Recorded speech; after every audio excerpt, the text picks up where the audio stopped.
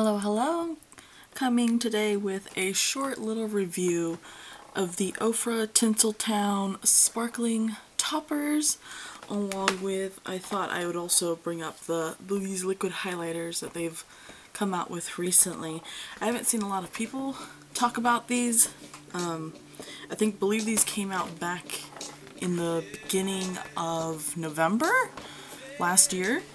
So I just wanted to show everyone. I think the only person I've seen really show these off or even mention them might have been Connor Christian. I think she did a short with these. So it comes like this. And you just pull it off and then they come in here and you open it up. Um, I have been using these. They're not new new. I did purchase them when they originally pretty much came out.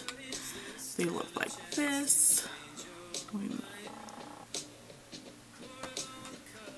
This one's the purple one, you got a pink one, and you got a white one. If you turn the card around. So the pink one is called Ice. It's a pink magenta ice. The white one is called Glisten. It's a pearly white ice. And the purplish one is Chill, and it's a lavender ice. It says, we're ready to slay the holidays with all three new Sparklights toppers and icing out is just a tap away. Add a hint of glisten to lids, cheeks, and even lips. So these are multifunctional. And I kind of just wanted to give these a quick shout out. Um, in terms of my favorite to least favorite, I like the white one more, the pink one second, and the lavender one last. The lavender one, um, actually originally came broken and but I was able to thankfully kind of press it back in. I think you can still kind of see that there's a crack right there. It came broken. It's this one's the one that least shows up. So I guess if you're kind of scared of maybe something like this that's purple, you're you'd be fine because it's not intense at all. It's also lavender. It's so light colored, which for me, which is why I like it the least. And you have your pink one here. It's a very bright pink, but still not super intense. I decided to make a short little video for these just because literally like two days ago, um, these toppers really help me save a look because I really like super shiny, sparkly shimmer shadows and sometimes the shimmer shadows that I pick aren't as intense as I want them to be. So for the look that I did two days ago, it was a red based look and it wasn't as sparkly as I wanted it to be. So I ended up just pulling out my my topper and putting that on top of the eye look I had already done and it made it so much better. And that's why I just want to bring these out here and recommend these. This one's my favorite one just because since it's white, it's more um, versatile, I guess you could say, because it's more silver leaning, more pearl leaning. And this one is more likely, like you could probably put this on any look, despite what color you have underneath. Oop. This one you could only do similar colors, right? You can only do pinks or reds. Um, that's pretty much it. One of the issues I have with these is though is that they are so soft. They're so easy to break. I just dropped it a little moment there and it I don't want to open it again, but it's kind of slightly broken my my pigment again. My not my pigment, but my sparkles, my topper. Um I did want to try let's see. I wanted to kind of show. So there's one. And I hope the light can catch how sparkly. Do you see how sparkly that is? I was trying to do wear the other one as well.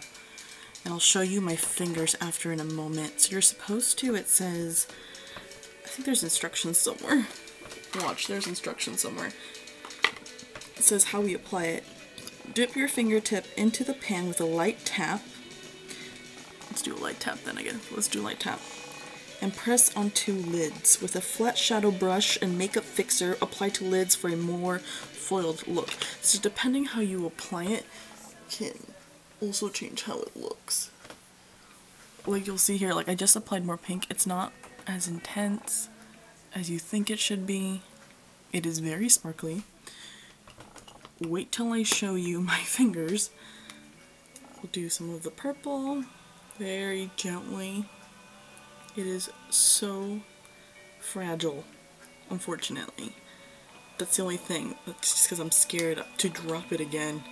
It is so fragile. The, let's see. This one shows up the least. Also, again, this purple's not intense at all. Like, look at it. Whoop, whoop, whoop, whoop, whoop. But look at my fingers. Can you see?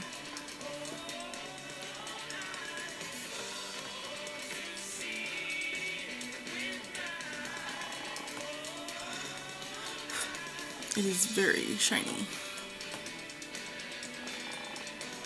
Sorry, they're not the best swatches in the world, but they're supposed to go on your eyelids, and I think from here you can see how shiny they are, and of course you can build them up as you'd like. Um, I kept building mine up until at least I see the shimmer on um, on my eyelids. So that's that part. I, I do recommend these. I do like these. I don't think they're absolutely necessary, but so far they've saved looks for me. So, if you like to get these to maybe save your looks and try them out, definitely recommend those. I also have, this is one of the original three liquid highlighters that came out. Um, this one is in shade Presley. I got this one and I got Monroe. I believe Monroe is the lighter, the lighter version. And after trying this one, because I tried this one first, um, I decided I didn't think I needed the other one because I don't wear liquid too much, too often. Um, I've been using this in my foundation. I'll put an entire pump of this in my foundation and it, it does feel like my skin is nice and brighter and not super shiny. It's not super shiny and intense. It's definitely for a more natural look. This is definitely a good medium gold color. It because look, it doesn't, you can't really see it, right? Like it's very, it blends into your skin. And that's kind of why I've been adding it into my foundation.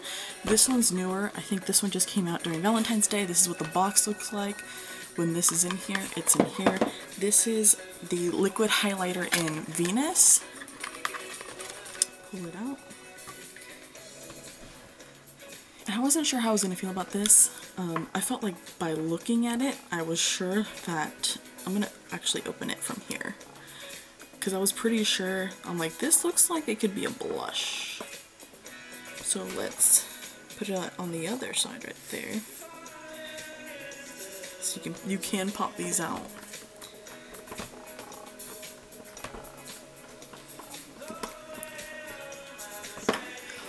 You got that there when I I was so surprised. So do you see it is very light. It looks a little scary in the bottle. You're like that looks really bright.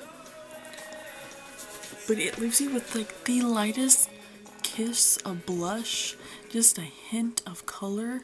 It is not intense. Again, these are so natural and it just gives you a glow. It really is just a glow. You don't have to worry about it being so intense. Like, where did it go? I know for some people there'd be like, oh, that's not for me. I see a um, gold glow. It looks very, what you would say, sun-kissed, sun-kissed skin.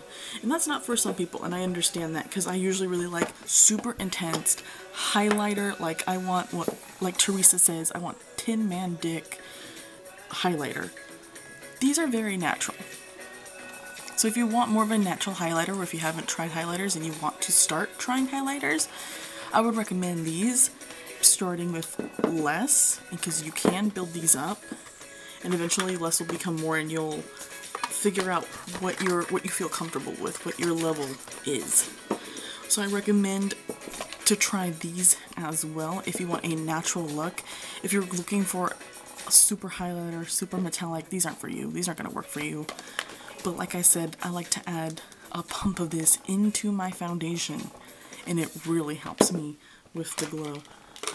So that's just my little mini review for these Ofra products. Let me know down below if you guys have tried this and how you guys like them.